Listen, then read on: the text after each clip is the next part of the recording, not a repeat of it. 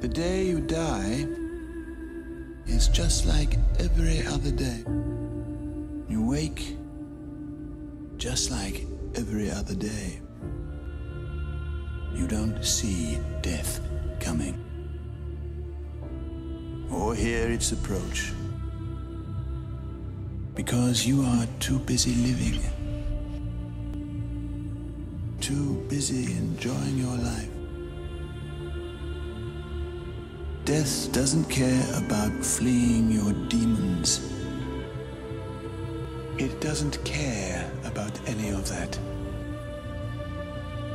It cares only that this is your time, your day to die.